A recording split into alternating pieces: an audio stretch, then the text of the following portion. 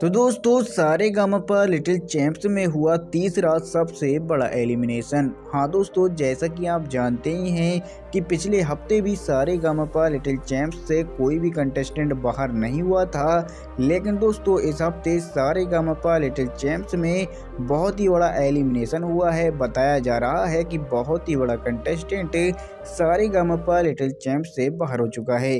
चलिए दोस्तों, आपको बताते हैं सारे गामापा लिटिल चैम्प्स के तीसरे एलिमिनेशन की पूरी अपडेट।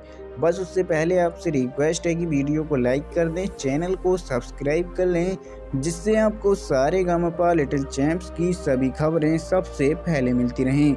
दोस्तों, आप तो जानते ही हैं कि सारे गामापा लिटिल चैम्प्स के सभी बच्चे एक से बढ़कर एक गाते हैं। सभी की सिंगिंग बेहतरीन है। ऐसे में दोस्तों बताया जा रहा है कि सारे का मपा लिटिल चैम्प से बहुत ही बड़ा कंटेस्टेंट बाहर हो गया है।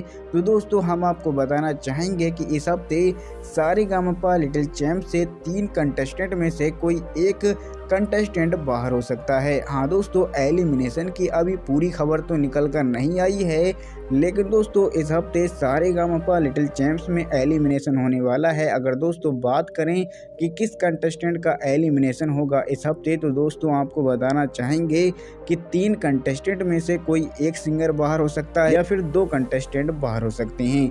हाँ दोस्तों, वो कंटेस्टेंट हैं जो कि बाहर होने वाले हैं। उनमें देविका शर्मा हैं, प्रज्योत गुंडले हैं और पलाक्षी दीक्षित हैं।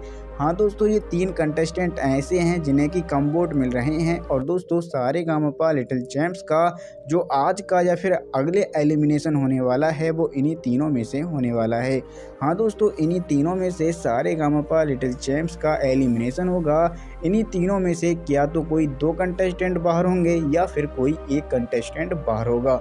लेकिन दोस्तों, इन्हीं तीनों में से सारे गामपा लिटिल चैम्प्स का अगला एलिमिनेशन होने वाला है। आप किस कंटेस्टेंट को एलिमिनेशन से बचाना चाहेंगे?